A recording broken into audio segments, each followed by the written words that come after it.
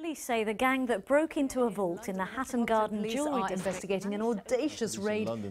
It was indeed a daring heist, a gang of old-school career criminals trying to pull off a £14 million safe deposit raid.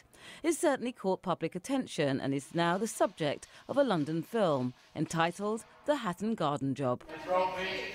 Maryland in East London is the location for the third week of filming, with cast members Larry Lamb and Phil Daniels on set. It's a great story. I mean, you know, us Brits rom romance about these sort of things a little bit, don't we? That, you know, the, where people don't get killed and jewels are stolen. Shooting for four weeks across London, the movie is described as a comedy thriller. I think there's a thing of camaraderie as well in Yeah. the end. You know, the, the fact that these guys come together, they don't necessarily spend their lives in each other's pockets, they know each other. And when it comes to putting together the right people to carry it out, it's a, it's a gradual process, you know, it's a sort of a caper. to make it as authentic as we could, we- we'd actually put in real concrete blocks. So you can, this is the set, and the rest of the uh, the rest of the vault is is exactly like this with render.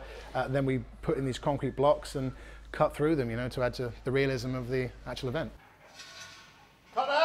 It was described initially as a victimless crime, but people lost money. You know, people had. um, Of course. So, what were the legalities that you had to consider? Well, we obviously we did our you know the usual sort of you know legal reads to make sure that nothing was defamatory and all that sort of stuff, uh, and we just stuck to what was in the public knowledge. You know, all the all the individuals were found guilty of their crime, so we retold that story best we could. You know, but not straying from from those facts. Any any fictional elements we've added are, are something we've completely made up.